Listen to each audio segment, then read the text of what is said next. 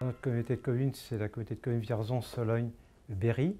On a, je dirais, trois atouts importants, notamment une industrie mécanique avec un savoir-faire reconnu au niveau national, une industrie diversifiée avec notamment de la maroquinerie euh, de luxe et puis des entreprises d'exception euh, comme euh, les enseignes lumineuses Signal Hall, qui je crois que c'est la seule entreprise en France qui existe dans ce domaine. Un atout aussi géographique, on est au cœur d'un carrefour autoroutier et ferroviaire qui nous a permis d'accueillir une entreprise de logistique ferroviaire, le groupe Combronde, avec le port du Havre, c'est-à-dire qu'on bénéficie de toute la logistique du Havre, ce qui est important pour les entreprises existantes. Et on est en train de mettre en place ici, à quelques mètres d'ici, un pôle poids lourd. Et on va travailler euh, sur euh, la mise en place euh, d'une station gaz, la méthanisation, pour pouvoir concourir aussi à l'amélioration de l'environnement et de la planète.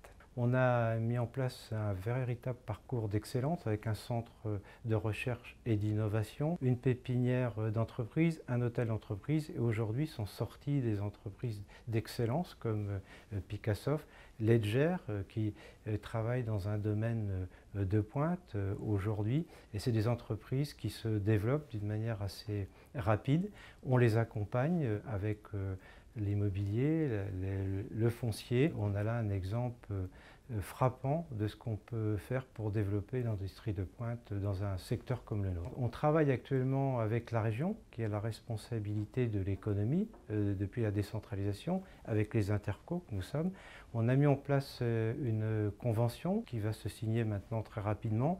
On va intervenir, nous, dans le domaine de l'immobilier, de l'acquisition foncière, de la mise en place des bâtiments nécessaires à l'extension ou à la mise en place d'une entreprise. La région va les accompagner sur l'investissement productif ou nécessaire au, développement de leur industrie et puis sur l'aide à l'emploi. On a là, toutes les palette nécessaire pour accompagner les entreprises qui veulent s'installer sur notre territoire. Et je crois qu'on a euh, beaucoup d'atouts. J'en rajouterai un. On a un lycée de pointe en termes d'industriel qui euh, a aujourd'hui des BTS, des formations euh, secondaires, même universitaires. Et je pense que les entreprises peuvent trouver là aussi un vivier intéressant concernant leur personnel et la formation nécessaires à leur personnel. Aujourd'hui, ils trouveront ici euh, tous les atouts pour s'implanter dans les meilleures euh, euh, conditions et ils trouveront aussi l'accompagnement nécessaire à la fois